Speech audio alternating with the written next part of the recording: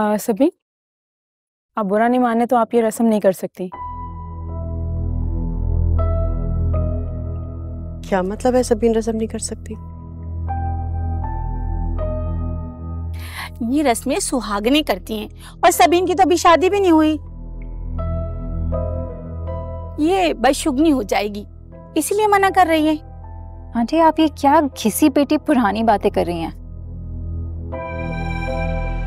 आजकल कोई परवाह नहीं करता इन सब बातों की, और अलीना प्लीज़ तुम चुप करो। ऐसे खुशी के मौके पर ना, रस्मों से ज़्यादा रिश्ते अहमियत रखते हैं। और सबीन जो है वो अलीना की इकलौती सगी फुप्पो है।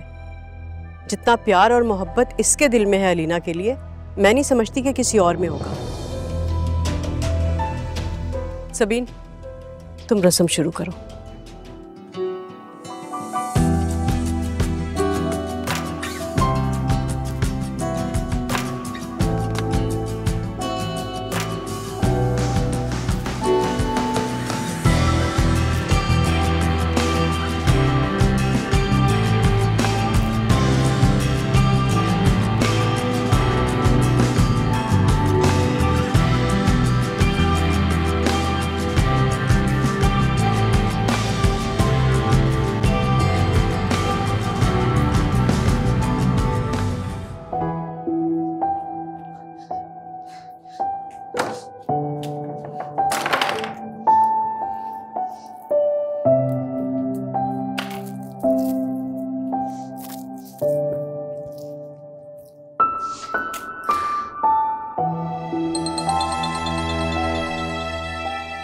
स्वरूप हेलो। रुबाब रुबाब कैसी हो तुम? तुम खुद सोचो कैसी हो सकती हूँ मैं। तुम्हारे झूठ और धोखे को जानने के बाद क्या हाल हो सकता है मेरा? क्या गुजरी होगी मेरे दिल पे जब मुझे ये पता चला कि तुम एक फ्रॉड हो? रुबाब तुमने भी सब पर यकीन कर लिया ये सब कुछ झूठ है। मेरे खिलाफ साजिश की गई है मुझे ट्रैप किया गया मुझे फंसाने की कोशिश कर रहे हैं। तुम्हें पता है इस सब के पीछे कौन है? तुम भी सुनोगी तुम भी परेशान हो जाओगी। ये सब कुछ तुम्हारे भाई और तुम्हारे बाप ने किया है। क्या बकवास कर रहे हो तुम मुझसे? हाँ मैं सच कह रहा हूँ मेरे खिलाफ ये झूठा केस बनाया गया है। मुझे मुझे फंसाने की कोशिश की गई है रुबाब। वो चाहते हैं कि मैं तुम्हारी नज़रों में गिर जाऊँ तुम मुझसे बात ना करो मुझसे दूर हो जाओ और कोई वजह नहीं है।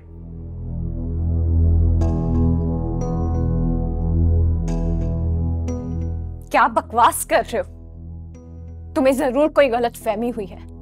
राहील भाई या डैड क्यों करेंगे ऐसा तुम्हारे साथ? और डैड का क्या लिंक तुम्हारी कंपनी से? ये सब झूठ है बकवास है ये।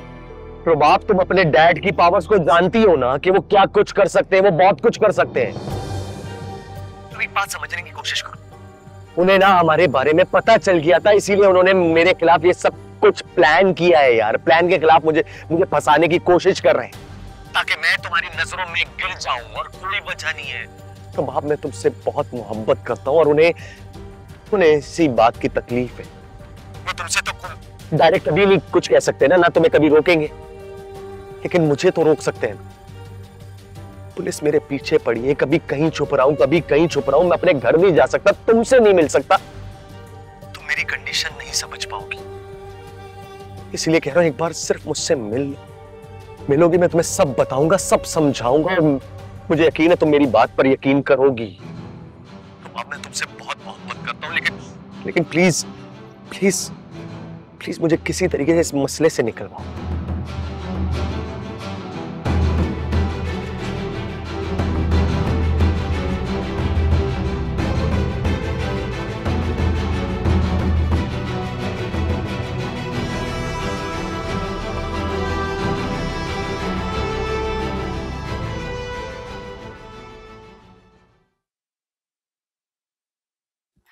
Do you think of me, हाँ?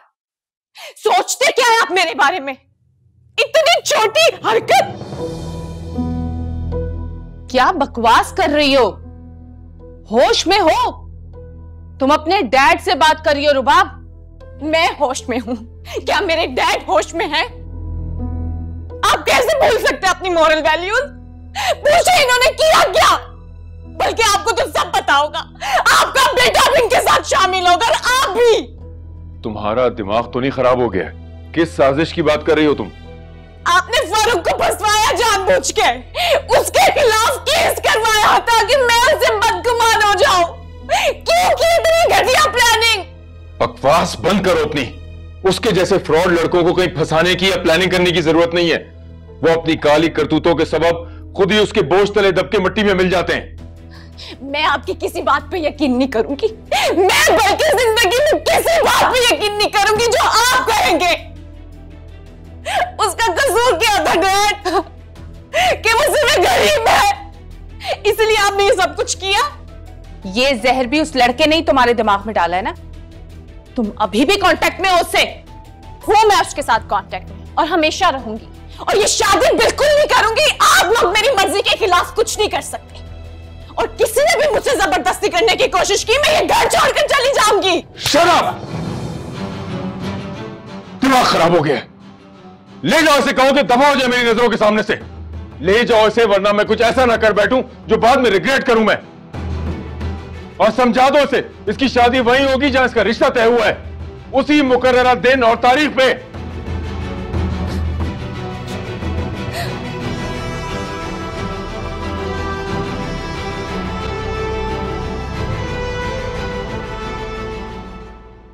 चलो चलो बैठो। डैड ने मुझ पे हाथ उठाया। तो तुमने इतनी फजूल बात क्यों की अपने डैड के सामने? आ, आप लोग ज्यादती कर रहे हैं मेरे साथ। बेवकूफ़ लड़की कौन सा बाप अपनी औलाद के साथ ज्यादती करता है? माँ बाप के गुस्से में भी औलाद की बेहतरी होती है। तुम्हें आज तक ये बात नहीं समझ में आई। वो मैं उससे बहुत प्यार करती हूँ। मैं उसके अलावा किसी के साथ खुश नहीं। नाम मत लेना उस फ्रॉड का मेरे सामने। और आज के बाद अगर तुमने उससे कांटेक्ट करने की कोशिश भी की ना दो दिन में शादी है तुम्हारी। नहीं करूँगी मैं शादी। मैं पहले कह चुकी हूँ ये शादी नहीं करूँगी। आप लोग ज़बरदस्ती नहीं कर सकते मेरे साथ। तो क्या तुम अपने माँ बाप की इज़्ज़त इस तरह रुसवा कराओगे दुनिया के सामने? बस कर दे। बस कर दे मुझे इस तरह से इमोशनल ब्लैकमेल करना। आपका बेटा पसंद की शादी करे तो आपकी इज़्ज़त पे हर्फ नहीं आता। अगर बेटी पसंद की शादी कर ले तो इज़्ज़त खराब हो गई आपकी। अगर राहील शादी से इनकार करता तो भी हमारी बेइज्जती होती। और अगर राहील की तरह तुम किसी शरीफ खानदान से जुड़ना चाहती ना तो हमें कोई एतराज़ ना होता। इतराज तो आपको राहील भाई की भी पसंद पे था। अगर वो घर छोड़कर ना जाते ना तो आप कभी ना मानती। करे मेरे साथ। प्लीज़ मॉम प्लीज़ वो एक अलग मसला है। रुबा बस! ये बचकानापन बंद करो अब। ज़िंदगी में पहली बार तुम्हारे डैड ने तुम पे हाथ उठाया है। तुम्हें जरा सा भी रिग्रेट नहीं है कि उनको तुमने कितना दुख पहुँचाया होगा? वो कितना प्यार करते हैं तुमसे? लेकिन बस चुप। अब एक लफ्ज मत बोलना। उस फ्रॉड इंसान पर कितना अंधा एतबार है तुमको? और अपने माँ बाप जिन्होंने तुम्हें पैदा किया, पाला, पोसा, यहाँ तक पहुँचाया, तुम्हें हम पे ट्रस्ट ही नहीं है। ऐसे लोग इस दुनिया में ना ख्वार होते हैं कि हाथ में कुछ नहीं आता। मुझे। खबरदार जो तुमने अब उससे कोई भी रहा किया।